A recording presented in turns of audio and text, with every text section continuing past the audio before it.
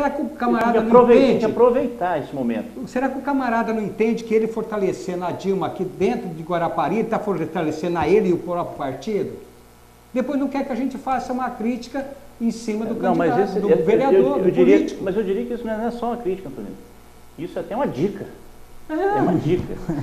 Ah, Só um segundo, Fabiano, rapidinho. E outra coisa, por exemplo, o candidato do PSDB. O PSDB, eu já falava com algumas pessoas, lideranças de Guarapari, eu sempre falo desse ponto com o Afonso, secretário do Ambiente, que é do, do PSDB.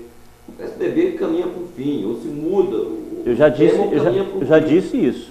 Caminho para o fim. O, candidato do PSDB não tem projeto. é o partido da Aí ele vai elite. para a televisão e falar, eu vou fazer, mas vai fazer como? De que jeito? É o partido Não da se faz elite. milagre, igual a Marina. Tá? A Marina está tá enganando a população. Não, mas- Está falando mas- que vai zerar impostos. Aí, sabe que não, se- não, não se governa. Zerar imposto Zerar não- impostos, não você existe. Sem caixa, você não governa. Gerar imposto não existe. Agora tem uma coisa interessante, que é bom que a gente, que a gente observe o seguinte. Quando Lula foi candidato ah, pela primeira vez, na saída do Fernando Henrique, Eu nem me lembro, ele foi candidato tantas vezes. quando ele, não, quando ele foi, quando foi candidato a, a- Outra cola. É, não, não, Foi não, eu falei a primeira vez, um equívoco. A primeira vez, quando ele entrou agora. 93. É, porque, não, não, quando ele disputou com o Fernando Henrique agora, porque ele entrou em 2002. é Sim, isso? 2001. 2001. É, disputou em 2000, 2001. É, na verdade, disputou contra o Serra. O Fernando Contra o Henrique Serra, estava exatamente, saindo. exatamente. Não foi Fernando. Henrique o governou duas vezes e, e aí não, não- exatamente. É, todo mundo tinha a mesma é, dúvida, o mesmo temor que você está colocando com relação a um projeto de governo novo ou de um, um candidato novo. O que, que vai ser? Inclusive, tem uma, teve uma atriz global, a, Re- a Regina Duarte, que ficou na geladeira muito tempo, porque ela disse que ela estava com medo do que podia acontecer. Isso não foi diferente com relação aos investidores, aos- ao capital especulativo internacional e até os investidores do próprio país. Mas, ora, elementar, se você pega um governo, como o Lula pegou, como é que está funcionando? Assim está funcionando? Deixa funcionando. O microfone, eu falo, Cristiano, está funcionando? Está saindo áudio? Tá. Então deixa, não mexe não. Foi o que ele fez. Aí pegou os projetos do PSDB, Aplicou. mexeu daqui, mexeu dali, né? deu uma burilada aqui e dali e aconteceu. Ninguém vai arriscar nada diferente do governo, da política fiscal, da política econômica, da política de cambial. Ninguém vai mexer em nada. Até porque que- não vai ter recurso para Até porque não, isso. tá, não vai ter recurso. E ninguém vai mexer em nada que está dando certo. Não vou arriscar, não sou doido de pegar e vou mexer no câmbio, vou mexer na política. A política monetária teria que me- me- mexer, né? Alguém vai ter que ter um- dar um jeito nesse negócio. Mas, enfim, O banqueiro. né? é, é, o, o próprio, o próprio governo do PT, isso aí não sou eu que estou dizendo, não. Aliás, a própria oposição petista, na época do governo Fernando Henrique, dizia os bancos nunca ganharam tanto dinheiro. E depois não foi diferente. E será assim? É, E será assim sempre, não vai mudar. Né? Aí é que eu digo que a oposição, é, PSDBista ou outro, não sabe fazer oposição como eles fariam, porque ninguém falou nada com relação aos bancos como eles falavam antes. Quer dizer, ninguém vai mexer nisso. ninguém vai Agora- mexer. agora Está vou falar funcionando, está agora, caminhando, vai, vai continuar. Vou pedir um assim. adendo para você aí, Pois por não. exemplo. Para a gente ir para o intervalo. O, o Rodrigo comentou aí que o desgaste do PT sobre a questão do mensalão.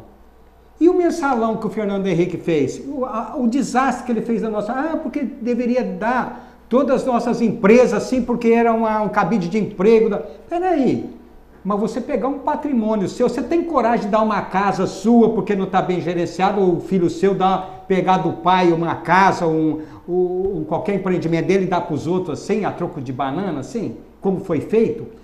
Podia ter feito sim, mas vendido, não dado. Ele descapitalizou o Brasil todinho. Não foi só isso não. Ele chegou e chamou o aposentado Fernando Henrique De vagabundo. de vagabundo. Ele inventou esse fator previdenciário que até hoje o, o- o aposentado, o trabalhador que pagou corretamente seus impostos tudo direitinho, arrecadou isso tudo, hoje está sofrendo a penúria placada por ele. Verdade. Então, não houve mensalão antes lá que ele, para se reeleger para presidente, ele não fez o mensalão também? Por que, que isso não veio à tona também? Deixa eu fazer só uma colocação rapidinho para a gente depois, eu sei que vamos voltar com um assunto ligado ao governo do Estado. Existe um, um- diferencial também que a gente coloca na- nos bate-papos de, de- de cerveja e política. Existe um, um diferencial do- da situação atual com lá atrás, nos primeiros mandatos do Tucano. Época, negão, quem, a, quem de imprensa que apitava no país era Veja e Globo. Só. Você não tinha internet, você não tinha celular, você não tinha... Rede social. Você não, você não tinha nada. Verdade. Nós tínhamos a Polícia Federal ganhando para comer e dormir, que a gente nem sabia que a Polícia tinha Polícia Federal no país. Verdade. Não se tinha Ministério Público espalhado pelos quatro cantos do país. Vigiando tudo, fiscalizando. é outra realidade. É, hoje, realmente, esse ponto E as aí. pessoas, é, é, boa parte dos políticos que fazem oposição hoje ao governo federal, eu cito como exemplo o DEM, o DEM que se, que se fala hoje é o mesmo TFL no dia desse Exatamente, atrás. Era, era a exatamente. mesma arena, Só a mudou, PDS. só mudou o nome. Essas pessoas sugaram o país desde que o país é país. Por que, que Exatamente. Lula anda abraçado no meio deles? Porque sabe de quem são as pessoas.